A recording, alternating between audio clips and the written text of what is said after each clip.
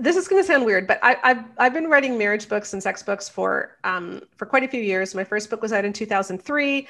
I've been blogging, I've been speaking, but I never read a lot of Christian books. Hmm. I really didn't. Every now and then I would read something if I was asked to endorse, um, right. but I never actually read a lot because I have this paranoid fear of plagiarism, and I don't want to inadvertently plagiarize someone. Right. And so I just always wanted the thoughts to be my own. So I just never read these books. And then in January 2019, I was involved in this Twitter conversation about love and respect because some woman commented that she really needed respect, not just love. And then I jumped in there too. And I thought, you know, I've never actually read that book. And I happened to have a migraine one day. I didn't want to blog, I was just looking to goof off, but I had the book in my cupboard. So I pulled out Love and Respect and I'm in the Myers Briggs personality thing. I'm, I'm an N. I'm like a really big picture person. I'm not an S. I'm not a detail person. So hmm. a normal human being, when they read a book, would start at the beginning. I don't do that. so, so I flipped through the book and found the chapter I was most interested in, which was the sex chapter. Hmm.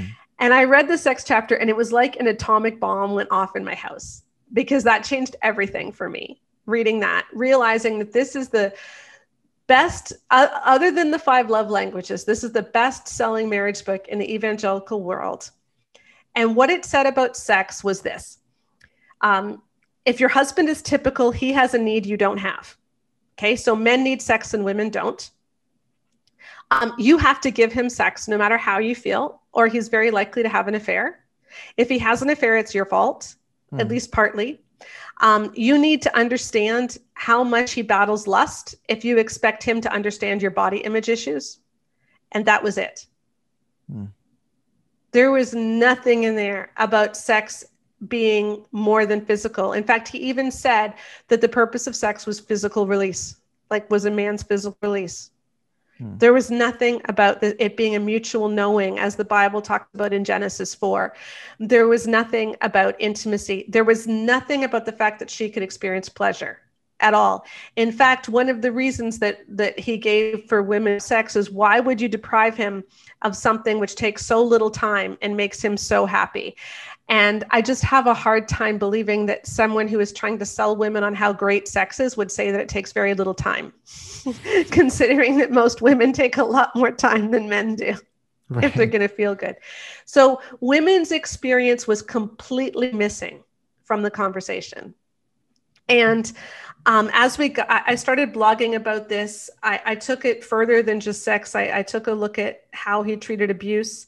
Um, yeah. And then we sent it was so bad that we sent a report off to focus on the family of because i had i had hundreds in that one week i had hundreds of women sharing their stories with me of how they had been abused and how this book had enabled their abuse.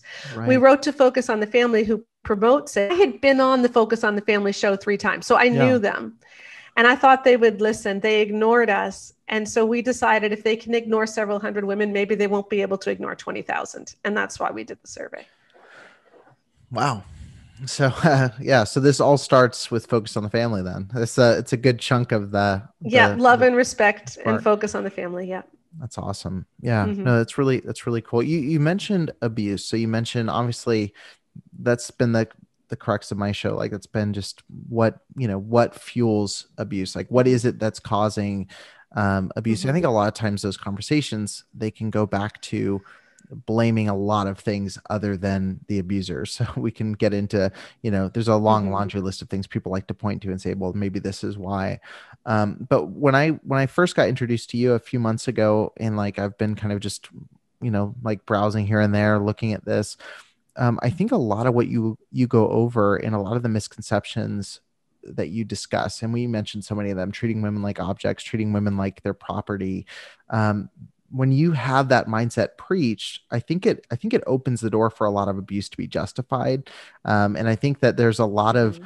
a lot of the abuse we're seeing in churches which is a, a lot i mean we're seeing even in the southern baptist convention right now you know we're seeing a, a pretty heated mm-hmm. conversation mm-hmm. about abuse there um, a lot of it goes back to the pulpit and again every abuser is responsible mm-hmm. for themselves you can't you can't blame um, they'll be quicker than anybody to say, well, it was the preaching or it was the pornography or it was this.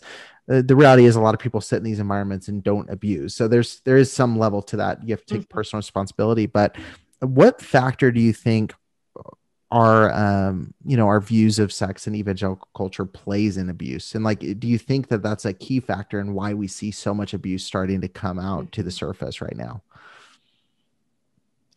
I have several issues. Um, one, of course, is just this idea that women exist to um, prop up men, and so then if if he feels like he's being disrespected, then she isn't doing her part. And that mm. certainly results in abuse. One of the things we looked at in our survey and in our book, The Great Sex Rescue, uh, was marital rape. Mm-hmm. Um, when we looked at when we when we looked at all our books oh and by the way everyone listening we we created a 12 point rubric of healthy um, sexuality healthy sexual teaching healthy messages with, along with a scorecard. So you could score between zero and four and we explained what a zero one a two a three and a four would look like.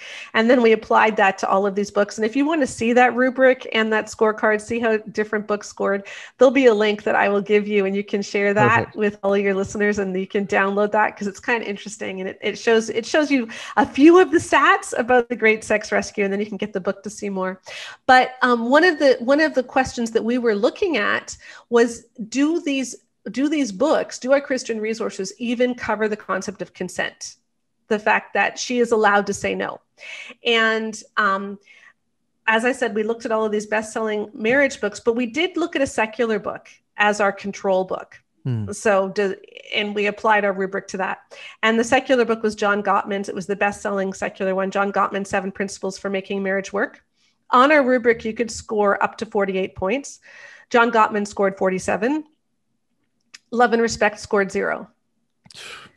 So, our best selling secular book scores 47 out of 48. Our best selling evangelical one scores zero.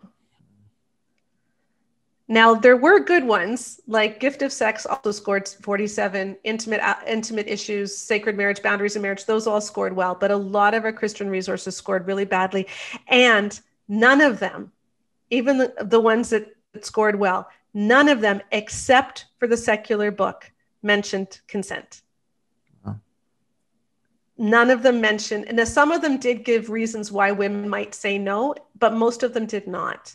Mm. Most of them use the do not deprive verses that you talked about yeah. to say that you are never allowed to say no. And let me just give you one um, one quick story from the act of marriage. Uh, and I hadn't remembered reading this. I, I, must have read it before I was married, but as I was reading the book again for this, it's like, okay, this makes so much sense. Why why I have such a residual hatred for this book. But Tim LaHaye was telling the story of this woman who's getting married, this young woman who's getting married, and her aunt Matilda comes to her and tells her that sex is terrible.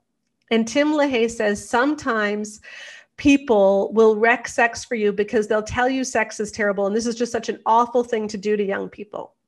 And he tells the story of Aunt Matilda how when Aunt Matilda married, she married an, uh, a farmer who was much older than her, and he had to hold her down and rape her while she was kicking and screaming on their wedding night.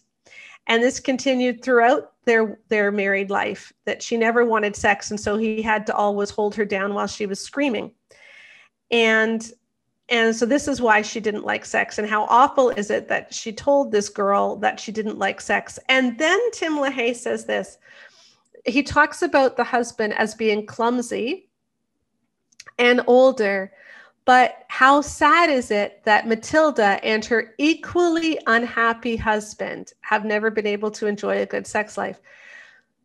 So he says that the rapist is equally unhappy as his victim, and he doesn't see this as a problem.